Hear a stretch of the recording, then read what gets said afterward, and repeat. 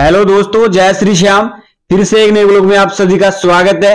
और आज का ये ब्लॉग खाटू श्याम जी दर्शन करने के लिए है। तो दोस्तों, आप इस ब्लॉग में बने रहे और खाटू श्याम जी का भी मेला चल रहा है फागुन का तो आपको इस खाटू श्याम जी के तोरण द्वार से खाटू श्याम जी के मंदिर का हम आपको व्यू दिखा रहे हैं। तो आप देखिए फागुन का मेला का दृश्य कैसा है खाटू श्याम जी के तो आप इस ब्लॉग में बने रहे और खाटू श्याम जी के मेले का मज़ा ले और खाटू श्याम जी के दर्शन करें और आप बने रहे ब्लॉग में और लास्ट तक देखें और खाटू श्याम जी के दर्शन करें और देखो फागुन का मेला किस तरह से लोग आए हुए हैं और काफ़ी भीड़ है यहाँ।